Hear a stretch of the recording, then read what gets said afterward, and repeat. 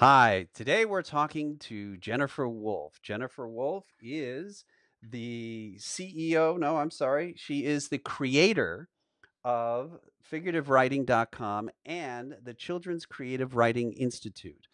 But before we get to those two austere um, organizations, let's talk about you and how you got started. Now, you and I met years ago when we were both working in the film industry. Uh, but before that, you moved out here from where? Baltimore. Baltimore. So, uh, Baltimore by way of Rochester. I studied political science and creative writing at the University of Rochester, which I loved. It's an amazing place, but it's really, really cold. It starts snowing in September and it doesn't stop until April. So I packed two suitcases after I graduated and said, I'm going to California. And wow. And so was it just the cold? Yeah, it was just the cold. It's really a great place and a great city, but I was really, really cold. Now, why Rochester from Baltimore?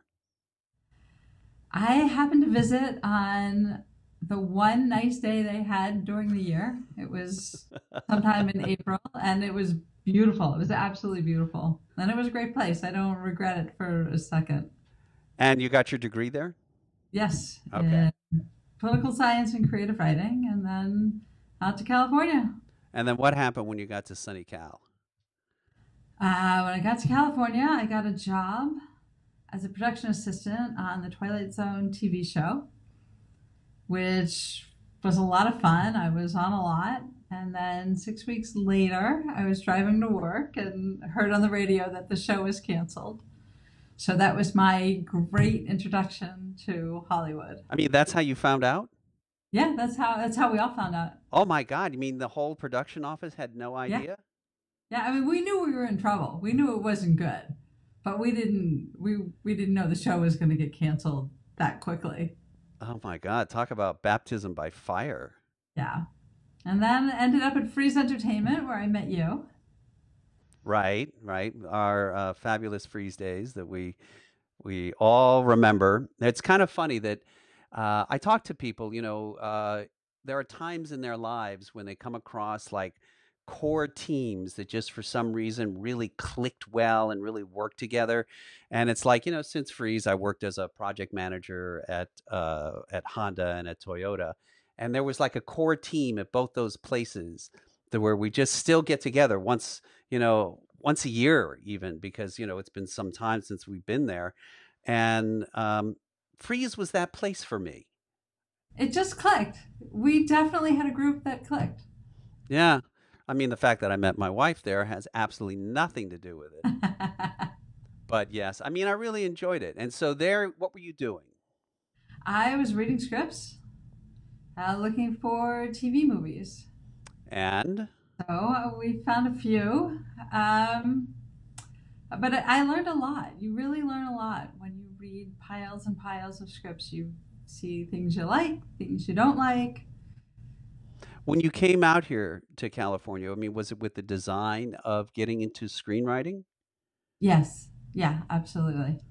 Okay, but when you were in college, you weren't studying screenwriting, or were you? I was studying creative writing. Okay. Political science, which I just liked. I wanted to study something I liked in college. And then creative writing, which I knew I wanted to pursue. Okay. And so as a reader, did you feel that you had any i don't know um, insight into story into what what what would make a good tv movie? Sure absolutely. You know you, you and you know even if you don't know the terminology anybody can read a script and know if the characters are compelling if the plot moves if it's interesting. You might not know if you don't have the background you might not know why it works or why it doesn't work but you can still get a pretty good idea i think Okay. And uh, from there, did you write any spec scripts? I did. I even had one optioned or two optioned, but nothing was ever made.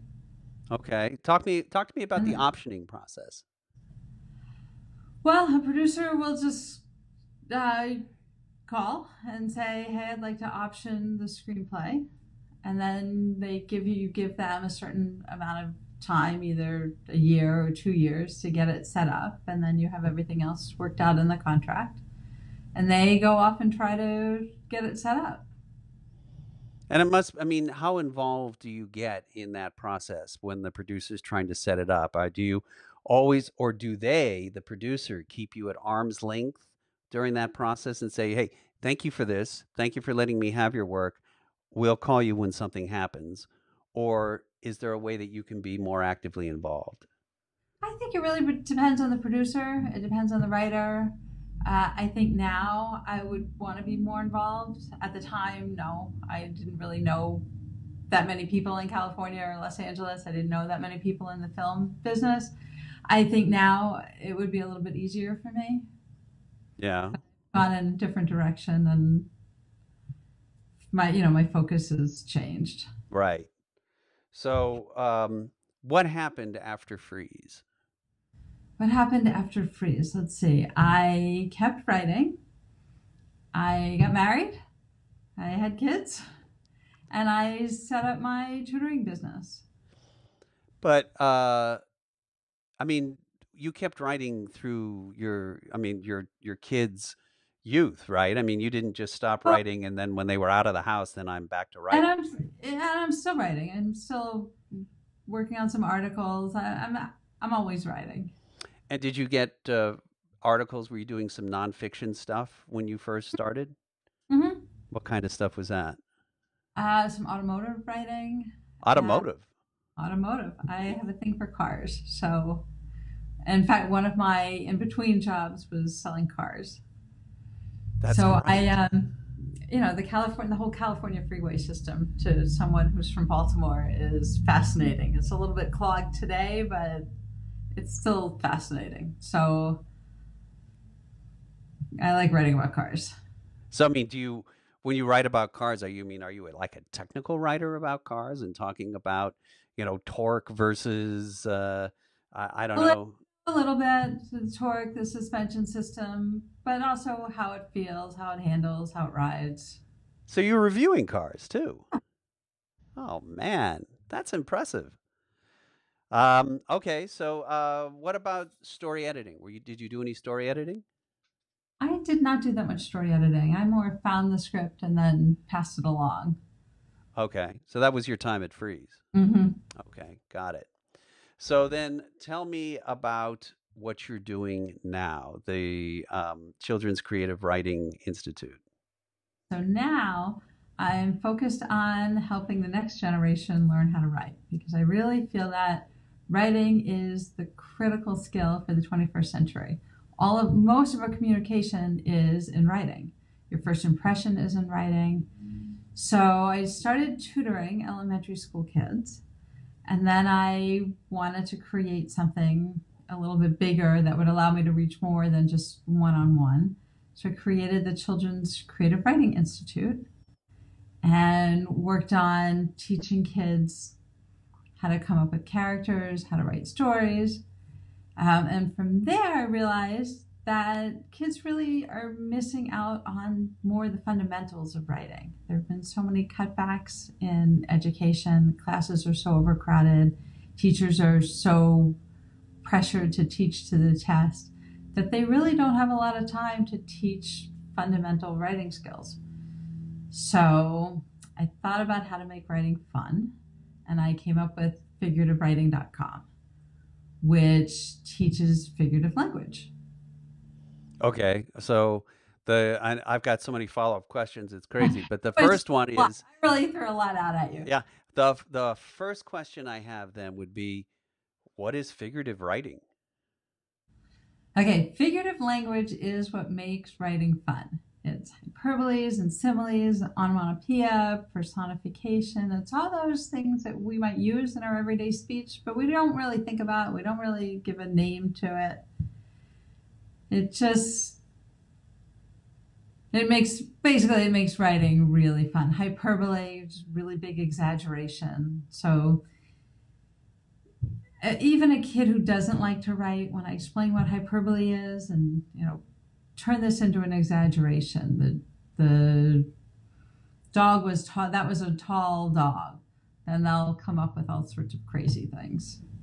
I mean, that was a dog that rivaled the Empire State Building, something like that. Exactly, it's fun.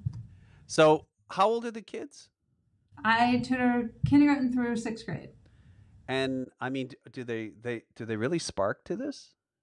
Yeah, they really do. You look very surprised. I know. I am surprised because you think about the society that we live in, and especially what children are being taught in terms of, of the written word. Hmm 90, uh, I mean, I would think their first written word is texting, and that's not even complete sentences. You know, that's just shorthand. Um, emails, which isn't much better. Uh, so I'm kind of surprised that kids are interested in this. I will tell you that grammar is a tougher sell. You know, if I try to teach where do you put the comma, that's a lot less interesting to most kids than come up with an onomatopoeia. Well, But mean, it's uh, it it definitely sparks some creativity. do you think one of my questions, and I'll circle back to my uh, yet another question, but do you think that creativity is something that is innate, or do you think it's something that's learned? I think it's innate. I think we are all creative. Um, I think that as adults, we tend to, oh, you know, we tend to judge ourselves. We're so busy. We're a lot less creative because of other pressures. I, but I think that it's definitely something that is innate, and every human on the planet has a creative element to them. So, um, as as kids get older, when do you think that starts happening, where there are outside pressures that start to suppress that creativity? I think by middle school, they start to censor themselves. I think the elementary school kids are 100% creative. But I, I think definitely by middle school, when they're overwhelmed with homework, peer pressure, it definitely gets a lot hard, harder to hold on to that. And this is the this is on top of like just the external teaching that they get from people who say, "Look, you just can't say anything that pops into your head." When Exactly. As a writer, you want to write down anything that pops into your head. That's why journaling is so important. I think that if kids have journals, they're not worried about what anybody is going to think. They're just sort of free to experiment. I Uh, think journals definitely go a long way towards creating good writers. and that's something you teach. No, it's something I encourage. I think it should be private. I don't think anybody really needs to be taught how to journal. It's a place where kids aren't, or anybody, you're not judged for what you write. You're able to just create or express your feelings or do whatever you want. It's your private journal. There's no rules. You just have to sit down and do it. That's the only that's the only rule. And do you have a journal? I do have a journal. And you, I mean, do you keep it up to date? You know, I, I don't do it every day, maybe a couple times a week. Oh, well, I mean, that's better than 99% of the people out there. You think so? Yeah, I think, you know, I think we all had journals, you know, when we were kids, especially, you know, when we were going through those awkward teenage years and we're full of angst over, you know, whether or not we're going to make the team or whether the girl likes us and all of that. But I think it kind of fell to the wayside when the girl did like us or we made the team and we no longer had to, you know, get that angst out. Well, honestly, I had actually stopped journaling. And then last summer, I did a fellowship at Cal State LA for teachers of writing, for the writing project that's housed at Cal State LA. And every morning from about 9 to 9.30, we would journal. That's how we started the day. And it was fantastic. Do you think journaling is the same as free writing? Mm-hmm. It can be.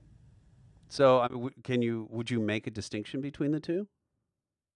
Um, yeah, absolutely. I think um, journaling, we th- when we think of journaling, we think more about writing your feelings, writing about what's going on. Whereas free writing is more like, hey, look, there's a squirrel, there's a butterfly, whatever pops into your head. But a lot of times when we sit down to journal, we don't have anything specific to write about. So we can start out free writing, and then one thing can lead to another. And you can even start out writing blah, blah, blah, and then eventually you'll move on from there and something decent will come out. Um, that's probably good advice for any writer out there. I mean, I know that um, uh, I can't think of her name, but the woman who wrote uh, the cre- um, oh, mind's eye. Oh, I can't even think of the name of the book. Writing on the left side of the brain.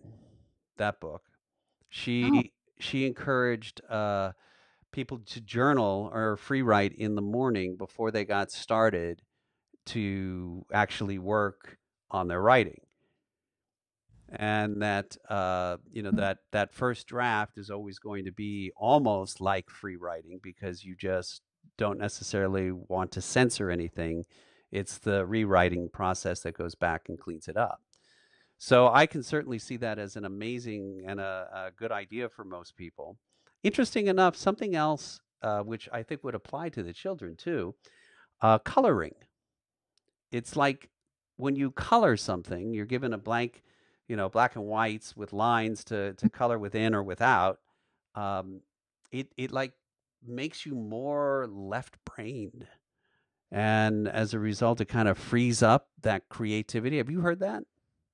I, I have, and I, I I think that that's true. I have a lot of worksheets, like particularly character and plot, or character and setting worksheets, where I'll have the bottom half of the page is lined for writing, and the top half is open for coloring.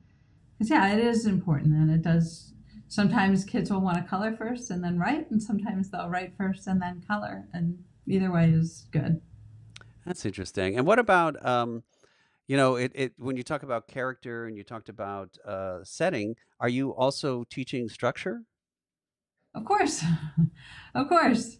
But you know, these are difficult concepts for kids. Yeah, So that's I'll, you know, I, I'll start out with beginning, middle, and end, uh, and then we'll go from there. And I'll have um, graphic organizers that take it a little bit further and show them how to escalate the problem. So the beginning and the middle, you have the problem, and it gets worse and worse and worse.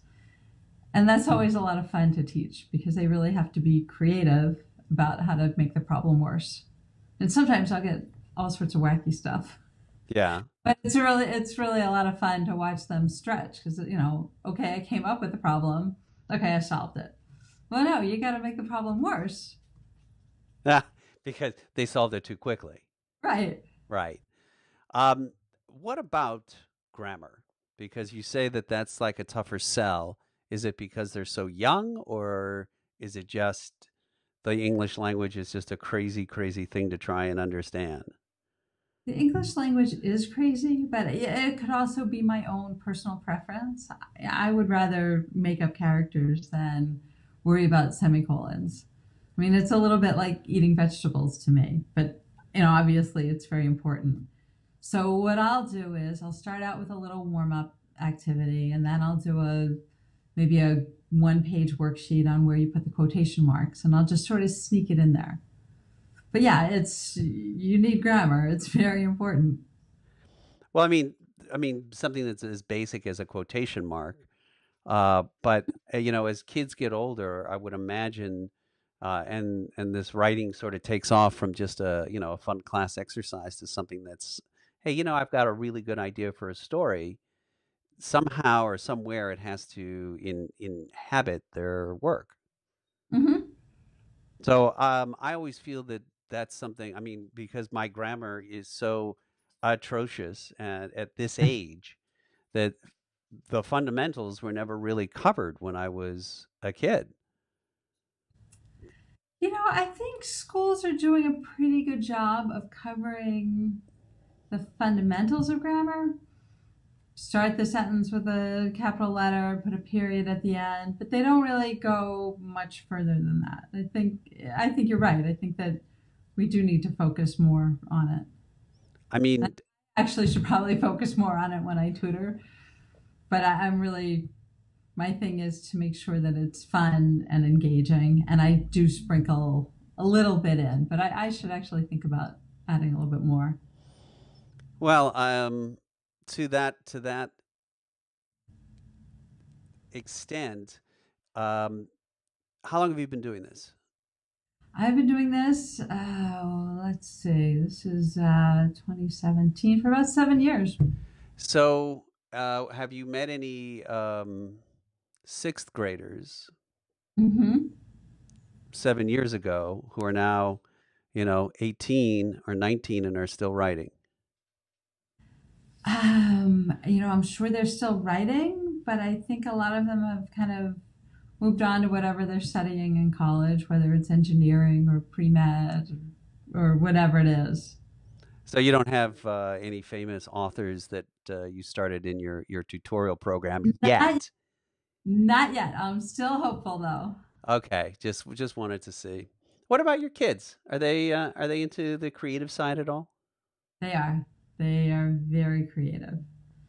So my oldest had a musical, one act musical that was just that she wrote, she produced, she directed it, she wrote the music, the lyrics, the music, everything. And that was at PianoFight in San Francisco. Wow, So that was that was really fun. that's amazing. And so yeah, and she did it all herself, which means she'll really fit into Hollywood well. Yeah.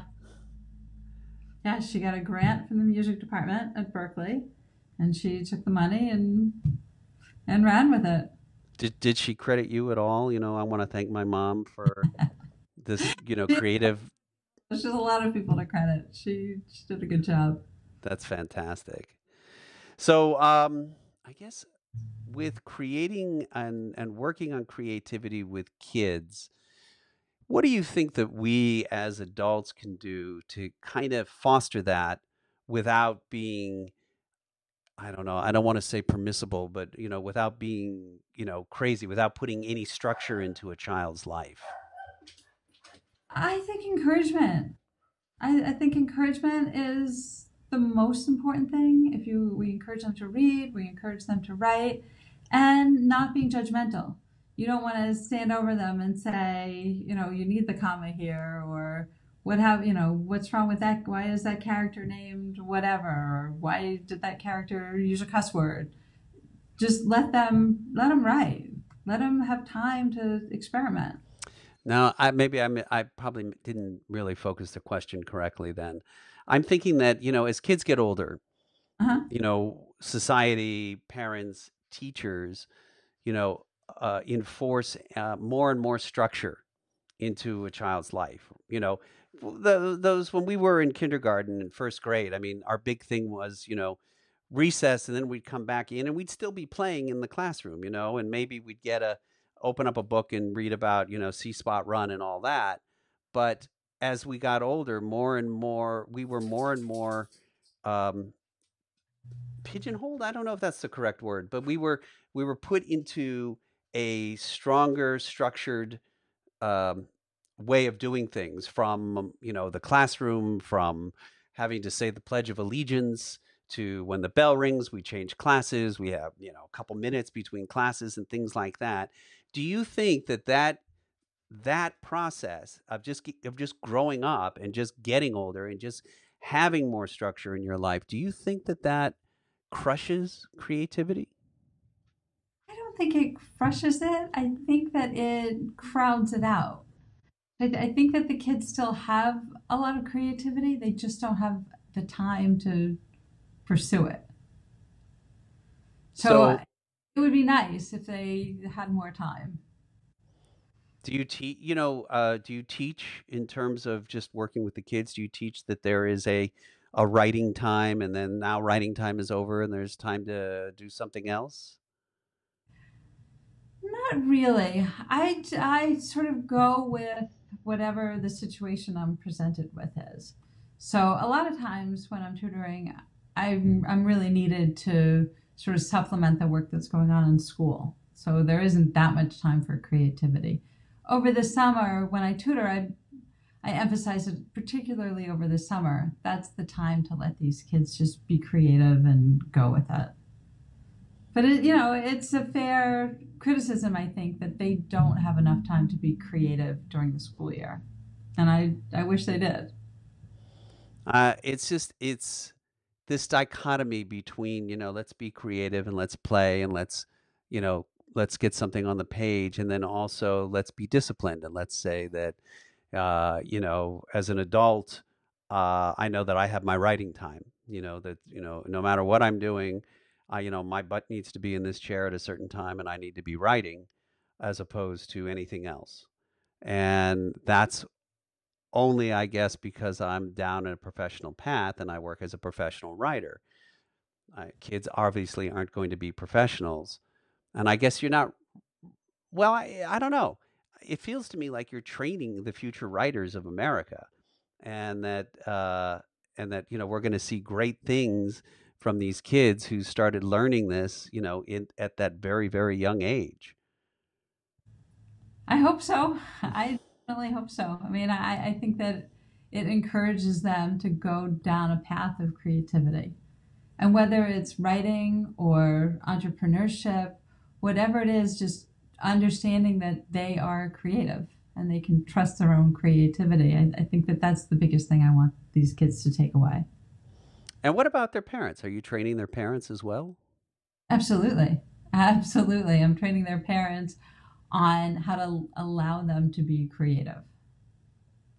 And do you get any pushback from parents at all? Um, I don't get a lot of pushback. Sometimes if I'm, you know, a kid wants to come up with a character that's like the moon is made out of poop or, you know, whatever it is, it's fine with me as long as they're writing, as long as they're being creative. Poop can play into it as much as they want. Why not? I like right. Poop is funny. Farting is funny. If they want to write a story where it's all about farting, that's okay with me as long as it has a beginning, a middle, and an end. It is funny, especially in this house. But go ahead. so at first, you know, the parents are sort of uptight about it, and then I have to encourage the parents to relax and let the kids just go with it.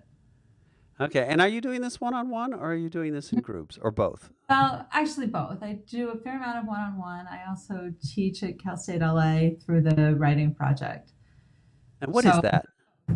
The Writing Project is um, a subsidiary of the National Writing Project. They have sites at 200 colleges and universities, and they we basically train the teachers on how to train the teachers of the teachers the student teachers and the students. So we really hit every level along the food chain and when it comes to writing. That's fantastic. That I I'm totally impressed by that. You know, I got to say that I wouldn't have the patience for it. Of course, I wouldn't have the. You know, I, you you've raised two beautiful daughters, and obviously you've had to develop patience, whether you you had it or not. I, you know what? I naturally have a lot of patience. I don't know why. I just am a patient person. Just nothing gets to you. It takes a lot. When it gets to me, it gets to me. But on a regular basis, I, yeah, I can just roll with it. So, so don't get to that breaking point. Right. I try really hard not to get to that breaking point. well, this has been fantastic. I really appreciate the time you've spent with us. Uh, tell us where people can reach out and learn more about you and about your. Well, two places. You can go to figurativewriting.com to learn all about figurative writing.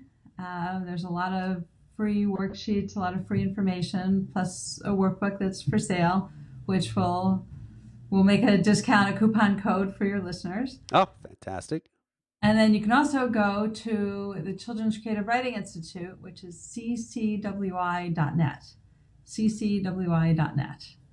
Okay. And uh, two websites. So, whatever your writing needs are, I think we should be able to handle them there. Okay. And if people want to reach you directly? Oh, uh, you can also find me on Instagram. Forgot about that. Oh. So, I'm Figurative Writing on Instagram. And on Facebook, I am the Children's Creative Writing Institute. Okay. So you can just um, hit me up on Facebook. That's probably the easiest under Children's Creative Writing Institute, um, or or Instagram. So either one is good. Okay, that's fantastic. Thanks, Jen. You have been absolutely great. Well, thanks to you. I'm really impressed with you. I'm so happy with your that your books are out. It's been really fun reading them, watching you get them out there. Oh, thanks. Bye. Bye.